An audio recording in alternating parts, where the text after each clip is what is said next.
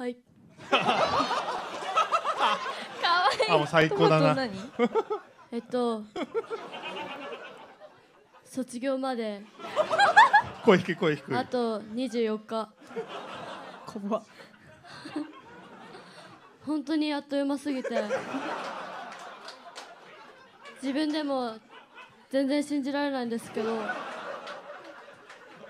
でも時間は待ってくれないんでね卒業まで。あと残り時間を大切に後輩に伝えたいことは伝えて。頑張りたいと思います。さらに。おお。まだまだ続いてまだ終わたってなかった。まだ続いてた。とトマトくんだ。トマトくんです。